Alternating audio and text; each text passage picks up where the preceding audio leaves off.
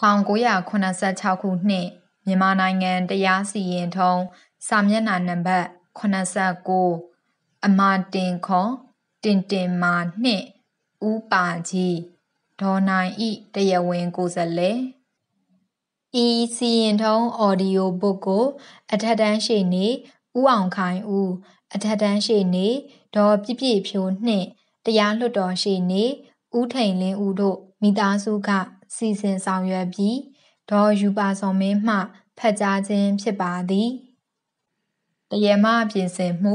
ဥက္ကဋ္ဌအဖြစ်ဦးထွန်းအောင်ကျော်အဖွဲ့ဝင်များအဖြစ်ဦးစိုးလှိုင်နှင့်ဦးလွင်မောင်တို့ပါဝင်သော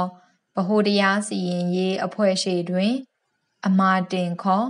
တင်တင်မာနှင့်ဦးပါကြီးဒေါ်နိုင်ဤတရားဝင်ကိုယ်စားလှယ် အမှုအတော်အတွင်တရလိုသိဆုံးသွား၍၎င်း၏နေရာတွင်တရားဝင်ကိုစားပြုသူလျှောက်ထားသည့်ကိစ္စ၌တရားပြိုင်အဖြစ် ပါဝင်နေသူက၎င်းအားတရားဝင်ကိုစားပြုသူတဦးအဖြစ်ထည့်သွင်းပေးရန် တောင်းဆိုခွင့်ရှိမှရှိ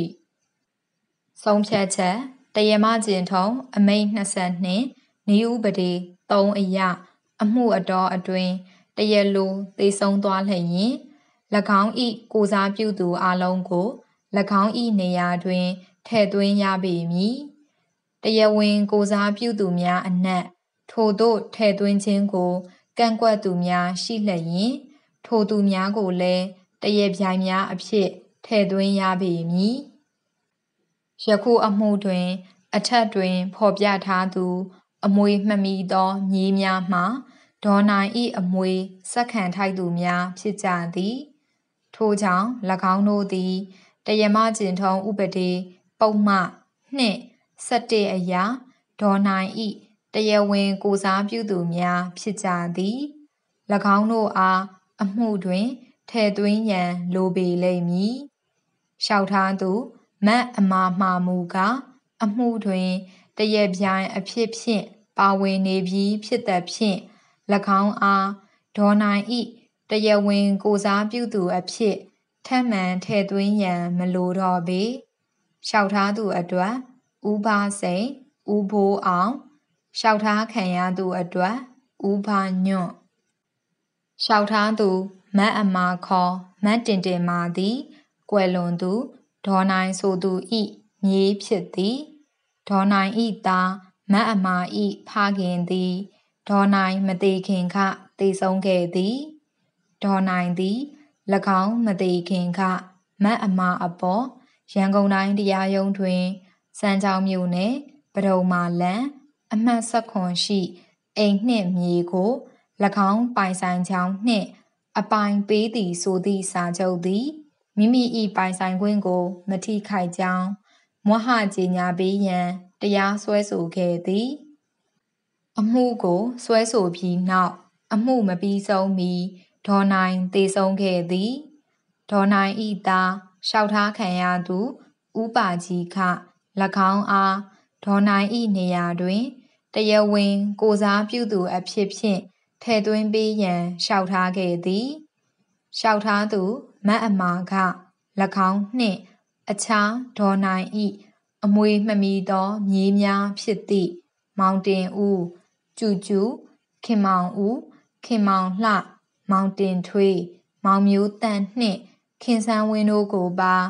ဒေါ်နိုင်ဤတရားဝင်ကိုစားပြုသူများအဖြစ်ဖြင့်ထည့်ပေးရန်တောင်းဆိုခဲ့သည်မူလာတိုင်းတရားရုံးကလျှောက်ထားခံရသူဥပါကြီးကိုသာဒေါ်နိုင်ဤတရားဝင်ကိုစားပြုသူအဖြစ်ထည့်သွင်းရန်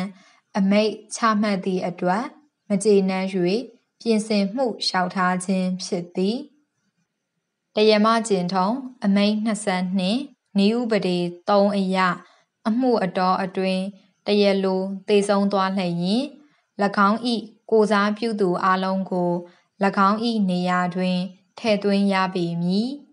တရားဝင်ကိုစားပြုသူများအနက်ထိုတို့ထည့်သွင်းခြင်းကိုကန့်ကွက်သူများရှိလျင်ထိုသူများကိုလည်းတရပြိုင်များအဖြစ် ထည့်သွင်းရပေမည်ယခုအမှုတွင်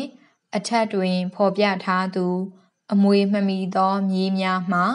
ဒေါ်နိုင်ဤအမွေဆက်ခံထိုက်သူများဖြစ်ကြသည်